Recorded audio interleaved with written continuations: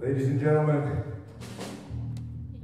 we're Sonny the JJ and the high rollers, the high effing rollers that is. We've come to destroy your hopes and dreams for the future. Without further ado, we make no excuses, no apologies. If we're out of key or out of tune, it's not because we don't know, we don't care.